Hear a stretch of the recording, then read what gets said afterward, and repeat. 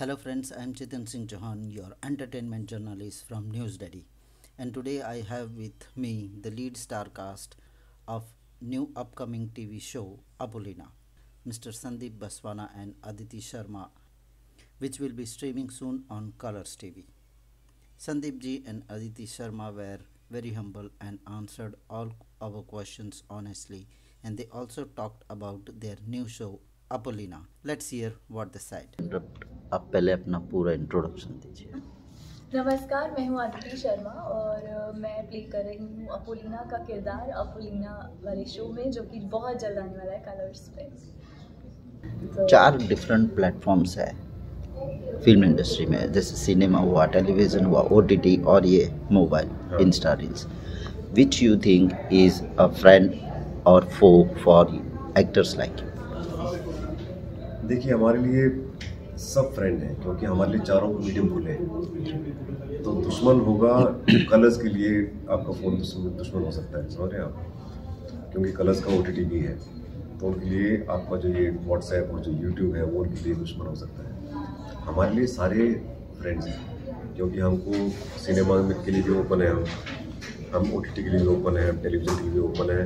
हम आपका यूट्यूब और यूट्यूब पर जो कभी अच्छे कुछ शो बनेंगे अगर, हर चीज़ के लिए सोशल मीडिया के लिए भी पर्सनल आपके घर पे अगर पार्टी हो, उसके लिए भी, हम सब के लिए ओपन है, हमारे लिए सब दोस्त हैं। सर 22 साल के एक्सपीरियंस में as a television as being an actor now you are a pro actor आपने ऐसा कोई कैरेक्टर अपनी लाइफ में आया हो आपके पास और आपको ऐसा लगा हो कि this is not my cup of tea और it is not matching to my personal character ऐसा जो आपने रिजेक्ट किया हो या कोई ऐसा कैरेक्टर जो आप अभी भी करना बाकी हो आपके जहन में हो कि मुझे ऐसे कैरेक्टर करना है ये दो इंसिडेंट देखिए जैसे यश चोपड़ा जब फ़िल्म बना रहे थे दिल वाले दुनिया ले जाएँगे जी। उन्होंने शाहरुख खान को मुझे ऑफ़र किया था मैंने बोला कि नहीं मैं नहीं करूँगा ये। क्योंकि शाहरुख खान का जो रोल है नया लड़का है शाहरुख उसे करना चाहिए मुझे नहीं करना चाहिए। तो वो रोल मैंने रिजेक्ट कर दिया। उसकी किस्मत पर वो उसकी लाइफ बन गई। नहीं, वो मज़ाक की बात दूसरी है देखिए, हमारे बहुत बहुत सारे होते हैं सीरियल कई बार आपको स्टार्ट करते ही आपको लगता है कि इसमें दम नहीं है, ये आगे नहीं कुछ। फिर भी क्या है, आपका पैसा मिल रहा है आपको प्रोड्यूसर पूरी मेहनत, हर जो भी लोग प्रोड्यूस करते हैं शो वो अपनी पूरी ज़िंदगी, अपनी पूरी जान, अपने पूरा घर बार लगा देते हैं उसके ऊपर।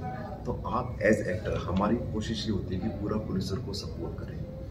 कहानी नहीं भी अच्छी है, किसी तरीके से कुछ डाल के, कुछ एंटरटेनमेंट हो जाए, वैसा कोशिश करते हैं। पर कई बार हर चीज़ ट्राई करते हैं, कई बार सफल हो जाती है, कई बार नहीं होती।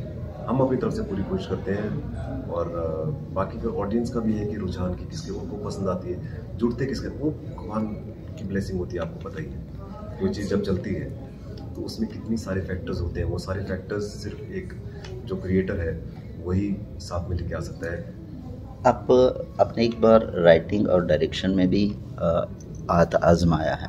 डू यू फील कि कुछ राइटिंग में आप जैसे कोई भी सीरियल हो for example let's take Apolina उसमें आपको ऐसा महसूस होता है कि यहाँ ये कुछ चेंजेस स्क्रिप्ट में और क्या वो इम्प्लीमेंट डायरेक्टर्स करते भी बिल्कुल बिल्कुल बिल्कुल। मेरे मेरा ये मानना है कि एक एक्टर को कहीं ना कहीं अगर वो थोड़ा राइटर भी है ना तो बहुत मदद मिलती है सीन के अंदर।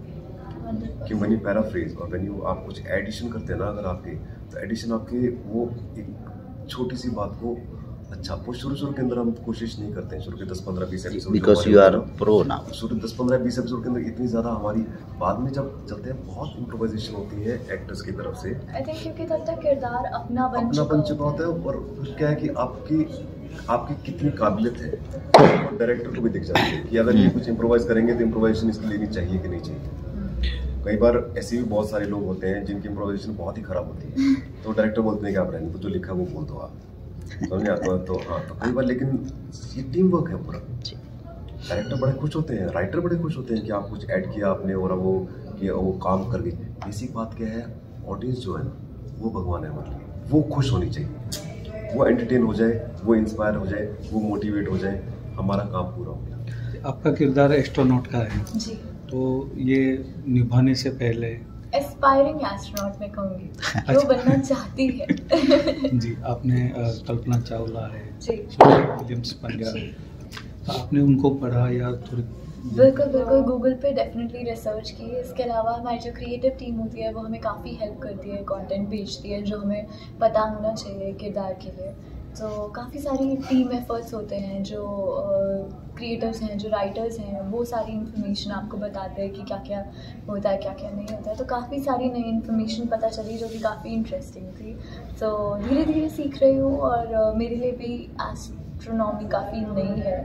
सो लुकिंग फॉरवर्ड एक अच्छे कैरेक्टर एक्टर्स में क्या होना चाहिए? क्या क्या स्पेसिफिकेशंस या क्या क्या बिहेवियरल पंक्चुअलिटी फॉर एग्जांपल ऐसा क्या सबसे- होना चाहिए? सबसे सबसे पहली बात तो जी। किसी भी चीज़ के लिए कोई भी चीज़ स्टार्ट होती है जब ज़िंदगी में दुनिया में जब स्टार्ट हुई थी ना जैसे लाइफ क्यों स्टार्ट हुई? क्योंकि भगवान का मन था समझे आप? तो सबसे पहली चीज़ क्या है अगर आपका मन है ना तो समझो आप उस चीज़ के लिए बने हो। आपका मन है इंटरेस्ट एंथुजियाज्म सबसे पहले तो इंटरेस्ट होना चाहिए आपका। दूसरा आपके अंदर काबिलियत होनी चाहिए सेल्फ एनालाइज करने की कि मुझमें बात है कि नहीं। है अगर नहीं है तो मत आप परेशान हो ज़रा लोगों को माँ बाप कोई परेशान मत करो। वही होते हैं बच्चों में नहीं है वो बाप माँ बाप मेरे तरह माँ बाप ही सपोर्ट कर रहे हैं बच्चे में दम नहीं है। तो बोलना चाहिए बच्चे को कि बेटा तुम नहीं हो पाएगा तुमसे कि तुम कुछ और कर लो। तो ये सेल्फ एनालिसिस बच्चों में होना चाहिए वो सब। तीसरा उसके बाद में फिर क्या है कि आपको ना शर्म नहीं करनी चाहिए। ज़िंदगी जो है आपकी सत्तर अस्सी साल की जितनी है इसके अंदर जो शर्म कर गया ना वो बैठा रहता है। आप फिर खुल के आओ। फिर आप बेशर्मी बहुत ज़रूरी है एक्टिंग के लिए। अगर आपको शर्मा शर्मी करे तो फिर एक्टिंग में मत आओ आप क्योंकि बेशर्मी किस तरीके की चाहिए एक तो सबके सामने परफॉर्म करना है आपको। अब अगर मेरा सीन है कच्चे के अंदर मैं वहाँ से यहाँ दौड़ रहा हूँ तो मुझे करना पड़ेगा सबके सामने। डेढ़ सौ लोग हो होते हैं सेट पे पर आपको करना है। एक बेशर्मी है दूसरी बेशर्मी रिजेक्शन की। आपको रिजेक्ट किया जाता है सत्तर अस्सी बार रिजेक्ट कर दिया आपको आप बेशर्म है फिर पहुँच गए। वो बेशर्मी बहुत ज़रूरी है। और तीसरा बेशर्मी ये कि अगर नहीं भी हो पा रहा है तो लोगों के सामने जाके हाँ भी होगा एक दिन। लोग परेशान करते हैं ना अरे वो नहीं रह पा रहा तुमसे तो। तो वो बेशर्मी बहुत ज़रूरी है। फिर उसके बाद में एक चीज़ आती है कि आप कितनी आपका काम चल गया उसके बाद में मेंटेन करने के लिए आप में कितनी शिद्दत है कितना फिर भी आप मेहनत करते रहते हैं करने के लिए। अभी तक आप में रुचि है कि नहीं है कि सिर्फ़ आप काम चला रहे हैं कि अब तो बन गई बात। तो ये सारी चीज़ें चाहिए होती ऑल द बेस्ट बहुत मज़ा आने वाला है All the best. Thank you. Very excited If you have liked this video, then please like, share and subscribe to our channel.